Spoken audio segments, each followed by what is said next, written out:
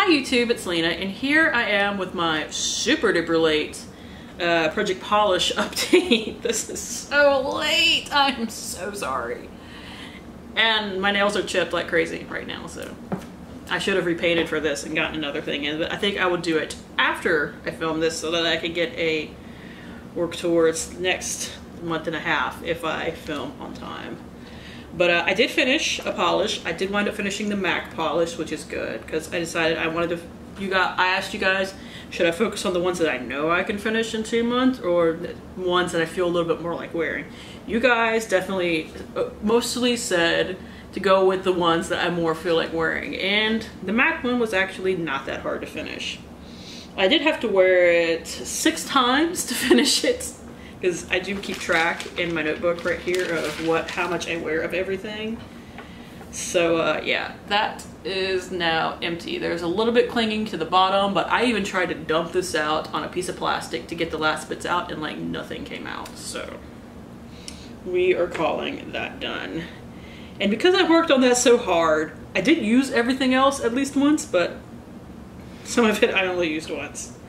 Here is my julep polish in Lola, I only used it once, but it has like noticeable progress because julep polishes do not have a lot in them. While I'm not adding a polish to this particular project because I would like to wrap this up by the end of the year, uh, I will be adding a julep polish to my rolling project pan that updates near the beginning of every month. So if you want to see me pan a different polish in that, I decided to add five more products to it to give because I'm trying to hit like a thousand dollars of used up product by the end of the year. And to get anywhere even near that, I'm gonna have to add more stuff to it. So that was one thing that I decided to add. Um, this is this Formula X polish I wore twice. And this is the one that I think if I focused on it, like just wearing it on my toes or something, I could get this done in the next month and a half so that we can have another empty. But uh, even just only wearing it twice, I made a nice little bit of progress. This probably only has like five or six manicures left in it because those things are just so small. I finished a red one up last year as well.